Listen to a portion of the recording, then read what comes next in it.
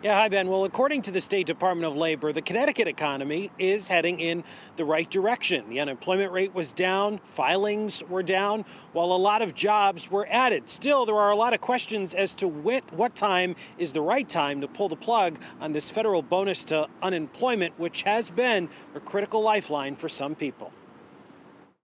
According to the State Department of Labor, 125,000 Connecticut residents have lost their extra $300 a week.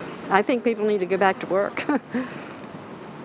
I don't I don't know about giving them $300. I mean, to me that wouldn't wouldn't help the situation overall. I think they should extend it. It's I think the pandemic is still going on. There's a lot less people in restaurants. But Billy Grant, the owner of Bricco in West Hartford, told Fox 61 that's not true.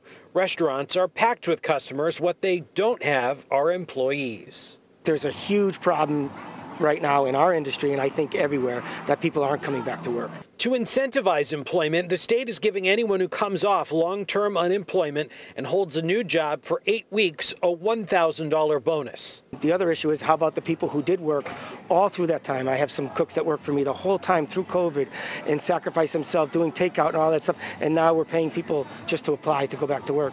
Congress extended the unemployment bonus twice already. Its expiration comes on the heels of a disappointing August jobs report, with the United States only adding 235,000 new jobs out of an expected 750,000. Signs of the Delta variant's impact on the economy. I think that people need to live. They need to survive. They need to pay their bills. They can barely pay their rents. Um, you know, we're seeing the moratoriums ending, and it's, it's scary times right now.